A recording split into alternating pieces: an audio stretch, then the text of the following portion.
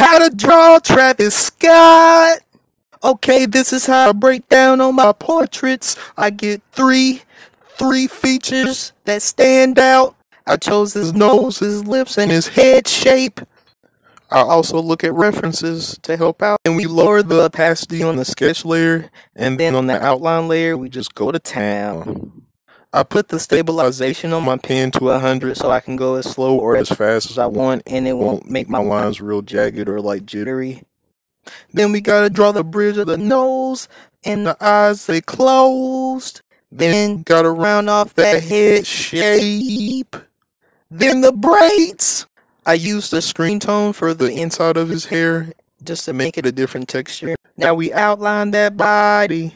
Then we gotta finish the jewelry. Can't forget about the jewelry. I color my boy in and I stylize his braids. Little extra flair. Thank you for watching.